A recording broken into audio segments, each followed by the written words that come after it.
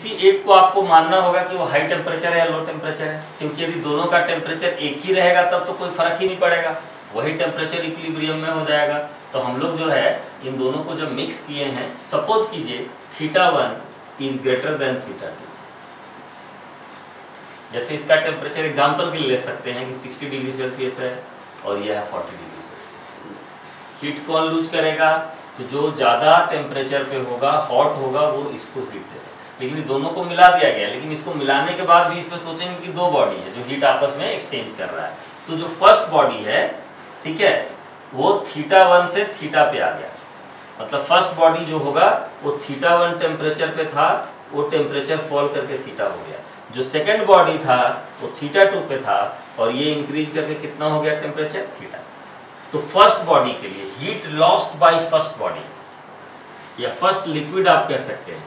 Heat lost by first body या liquid कितने के बराबर आएगा? तो हम लोग इसको सपोज़ H1 लिखते हैं। H1 वन इक्वल्स टू हो जाएगा M1 C1 और यहाँ पर डेल्टा थीटा कितना होगा? तो थीटा वन से थीटा टेम्परेचर पे गिर गया तो इसका डेल्टा थीटा का वैल्यू हो जाएगा थीटा वन माइनस थीटा और दूसरा, अब निकालेंगे heat lost by second liquid heat lost by first liquid heat gained निकलेंगे फिर heat gained by second liquid heat gained by second liquid तो सेकेंड लिक्विड क्या हुआ है? तो वो जो हीट गेन करेगा तो इसका मास है M2 स्पेसिफिक हीट है C2 और ये हीट जो गेन करेगा, उसमें डेल्टा थीटा मतलब चेंज इन टेम्परेचर कितना होगा? तो theta minus theta two final temperature minus initial temperature इसमें करेंगे। देखिए, जब हीट लॉस होगा तो इनिशियल में से फाइनल को माइनस करके निकालेंगे, और जब हीट गेन हो रहा होगा तो फाइनल टेम्परेचर में से इनिशियल को माइनस करके निकालेंगे। तो ये देखिए, हो गया। अब H1 है heat lost by first liquid ये लिक्विड इसको हीट देगा। ये दोनों हीट इक्वल होना चाहिए। हम लोग लिखेंगे by principle of calorimetry by principle of calorimetry क्या होना चाहिए? Heat lost equals to heat gained heat lost equals to heat gained तो देखिए heat lost equals to heat gained यदि आप कर रहे हैं तो पहला जो था हम लोग का हीट लॉस्ट कितने के बराबर आया था? Heat lost is M one C one theta one minus theta equals to दूसरा हीट गेंड जो था M two C two theta two minus ये दोनों को इक्वल कर दें। इसके बाद में आप इसको सॉल्व करेंगे। इसको जब सॉल्व करेंगे तो देखिए बड़ा फॉर्मूला या बोलिए ट्रिक टाइप का डेवलप हो जाएगा। वो देखिए किस तरह से डेवलप हो रहा है। क्या सॉल्व करना है देखिए?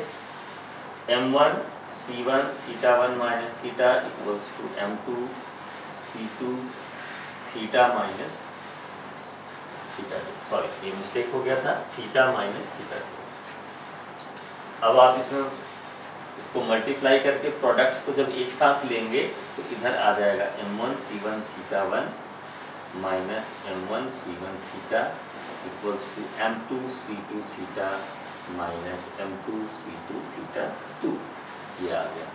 अब आप टर्म थीटा वाले को एक तरफ़ ले लीजिए तो ये हो जाएगा M one C one theta M two C two theta equals to M one C one theta one plus M two C two theta इसमें थीटा कॉमन आप ले लीजिएगा तो थीटा का वैल्यू जब निकालेंगे तो ये ऐसे आ जाएगा। M one C one theta one plus M two C two theta two divide by M one C one plus M two C देखिए कॉमन टेम्परेचर निकालने का एक फॉर्मूला डेवलप करते हैं। कोई भी दो लिक्विड को यदि आप मिक्स कर रहे हैं तो मिक्सिंग करने के बाद जो कॉमन टेम्परेचर या इक्विलिब्रियम टेम्परेचर फाइनली आने वाला है, वो यही आने वाला है।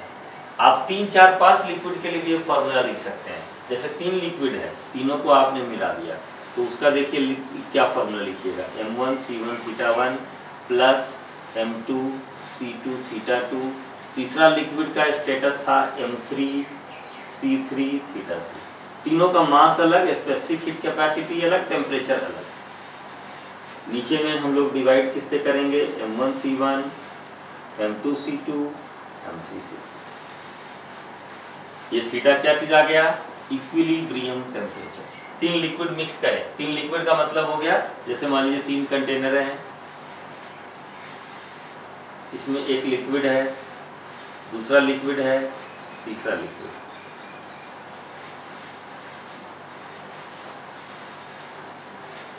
ये था M1 C1 थीटा वन इसका मतलब हुआ, इसका मास था M1 स्पेसिफिक हीट कैपेसिटी है C1 और इनिशियल टेम्परेचर है थीटा वन दूसरा जो लिक्विड है, ये है M2 specific heat capacity C2 और इसका टेम्परेचर है थीटा टू ये है आपका M3 ये है C3 और टेम्परेचर है थीटा थ्री ये तीनों को जब मिक्स कर देंगे हम लोग लिक्विड को तो जो थीटा का वैल्यू आने वाला है कि फाइनली क्या होगा? एक कंटेनर में भी हम लोग डाल देते हैं। तीनों लिक्विड मिक्स कर दिया गया। तो तीनों लिक्विड मिक्स होगा तो टेम्परेचर इसका थीटा हो जाएगा। और जो थीटा टेम्परेचर आने वाला है, उसको निकालने के लिए आप ये जनरलाइज फॉर्मूला या चार, पाँच और रहेगा तो आप बढ़ा सकते हैं इस तरीके से। So this is how we find final equilibrium temperature of a mixture क्या निकाला है हम लोगों ने अभी? इक्विलिब्रियम टेम्परेचर ऑफ़ मिक्सचर यहाँ पे थीटा को हम लोग बोल सकते हैं। थीटा है इक्विलिब्रियम टेम्परेचर ऑफ़ मिक्सचर तो इससे आपको कोई भी फॉर्मूला रहेगा तो उससे आप निकाल सकते हैं। आपको यही याद रखना होगा बस कि इनिशियल टेम्परेचर सब स्पेसिफिक हीट और सबका अलग अलग जो quantity of liquids usually mixing liquids में ही होता है सॉलिड में नहीं होता तो इस तरह से हम इसको दिखा सकते हैं। क्लियर है ये?